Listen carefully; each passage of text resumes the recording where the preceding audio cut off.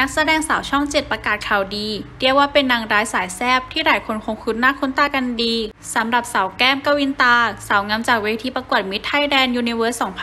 2551 และเธอยังเป็นตัวแทนประเทศไทย เข้าร่วมการประกวดนางงามจักรวาล 2008ณเมืองยาจางประเทศเวียดนาม และได้รับรางวัลชุดประจำชาติยอดเยี่ยม ซึ่งก่อนเข้าวงการบันเทิง สาวแก้มนั้นยังเคยเป็นอดีตนักวอลเลย์บอล ประจำจังหวัดขอนแก่น และเธอเคยประกวดนางงามธิดา พญานาค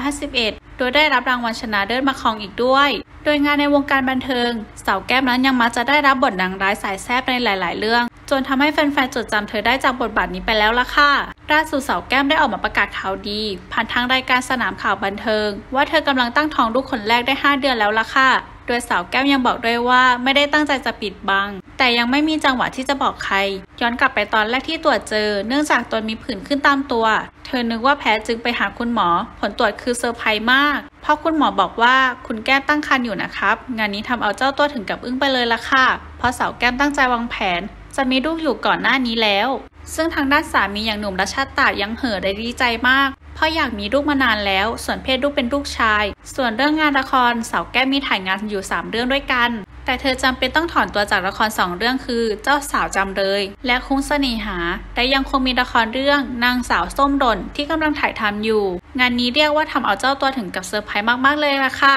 ไม่คิดว่า baby จะมาแบบไม่ทันตั้งตัวแบบนี้ ขอแสดงความยินดีกับสาวแก้มและสามีด้วยค่ะ